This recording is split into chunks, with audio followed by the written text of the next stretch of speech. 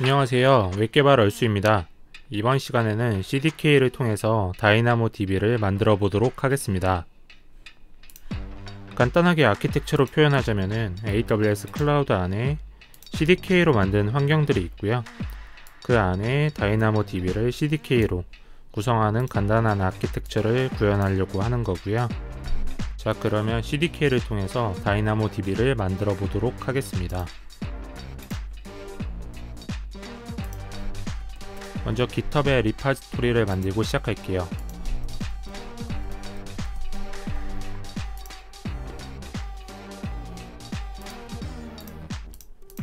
저 같은 경우에는 dev 폴더 안에서 이 github.com이라는 폴더를 만들어 놨고요. 여기서 git 클론을 해서 방금 만든 repository를 입력해서 폴더를 만들어서 사용하고 있습니다. 그 폴더를 들어가 주시고요. 그리고 cdk init app language typescript를 입력해 주시면 cdk 프로젝트가 생성이 됩니다. 이 왼쪽에 lib 폴더 안에 이 스택을 들어가 주시면 저번 시간과 달리 안에 서비스가 아무것도 없는 스택을 생성할 수 있게 되고요. package.json을 보시면은 AWS CDK의 코어는 있는데 오늘 우리가 사용해볼 DynamoDB는 없기 때문에 CDK DynamoDB를 검색해 주시면 사용하는 방법이 나와 있습니다. 이 TypeScript 같은 경우에는 AWS CDK의 AWS DynamoDB 이거를 npm install로 설치해 주시면 됩니다.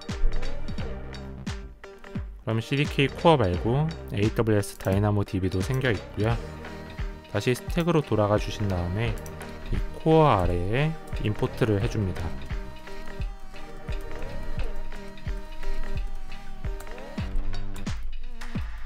이렇게 되셨으면 DynamoDB의 테이블을 만들어 볼 건데요. DynamoDB 테이블을 생성하는 방법은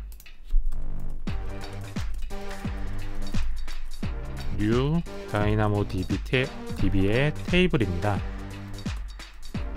이 테이블 안에는 scope와 아이디, props가 들어가는 것을 확인할 수 있고요.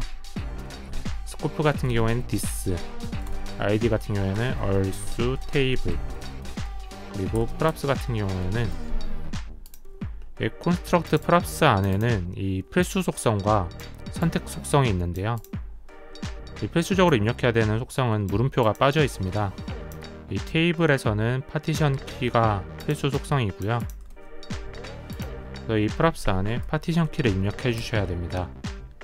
이 파티션 키는 attribute라는 타입으로 되어 있고 attribute 안에는 name과 타입 두 가지의 속성이 필수로 지정이 돼야 됩니다.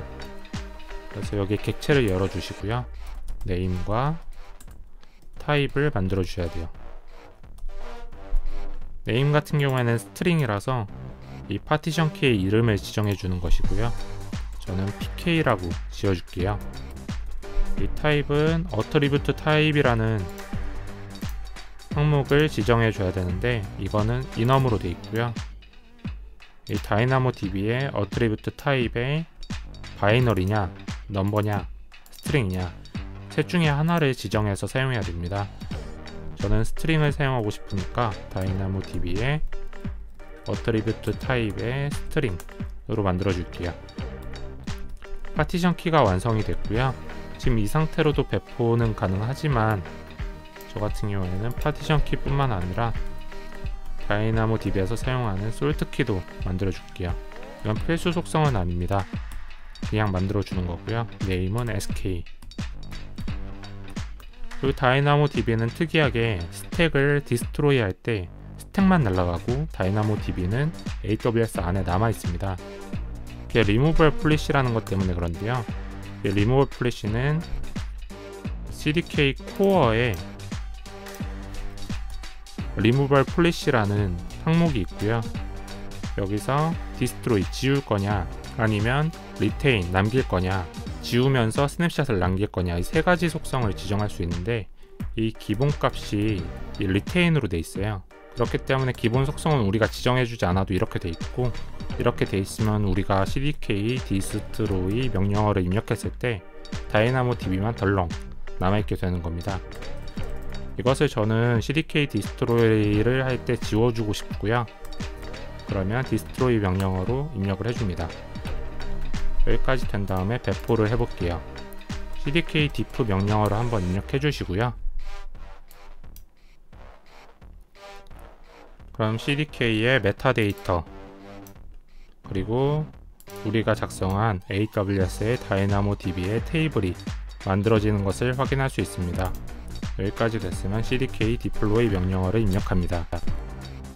이렇게 하면 CloudFormation의 그 템플릿으로 변환이 돼서 AWS의 CDK 스택으로 배포가 되고요.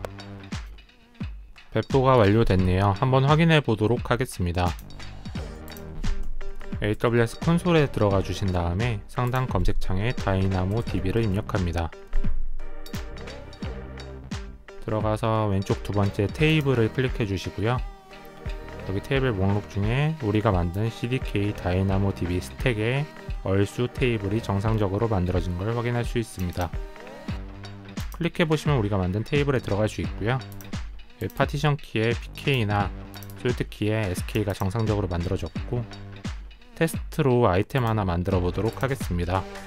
PK는 테스트고 솔트 키는 1로 만들어 보고 이런 식으로 하면 다이나모 DB 테이블에 인서트가 정상적으로 되는 것을 확인할 수 있고요. 테스트로 똑같이 만들면은 이게 복합 키로 구성이 되어 있다 보니까 이런 식으로 실패하는 것도 확인할 수 있습니다. 그럼 우리가 만든 테이블이 잘 지워지나도 확인을 해야 되기 때문에 pdk destroy 명령어를 입력해 봅니다. 그럼 진짜 지울 건지 물어보고요. Y를 눌러주시면 우리가 만든 스택과 테이블이 삭제가 됩니다.